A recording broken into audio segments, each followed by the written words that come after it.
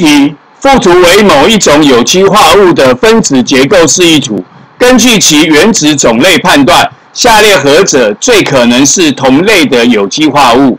我们看到呢，这个白白的是氢，也就是说这个化合物有 OH，所谓的氢基。我们知道有氢基的种类呢，化学有机化合物是所谓的醇类。所以第一题问我们说，下列何者最可能是同类的有机化物？我们答案选的是 C，乙醇。